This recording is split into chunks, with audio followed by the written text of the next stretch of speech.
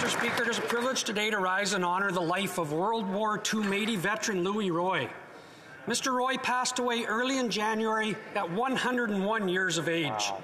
He enlisted in the Army in 1942 and served Canada in Ireland, Portugal, Italy, and England until his discharge in 1945. A well respected family man and community member, Mr. Roy spent his years after the war as a trapper and hunter before beginning a career as a carpenter.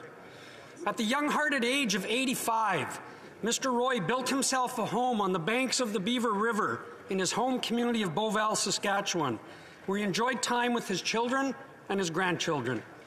His granddaughter Glenda Burnouf said it best about her grandfather. He was just a very well respected man. He lived a fulfilled life rich with adventure. He was loved by all.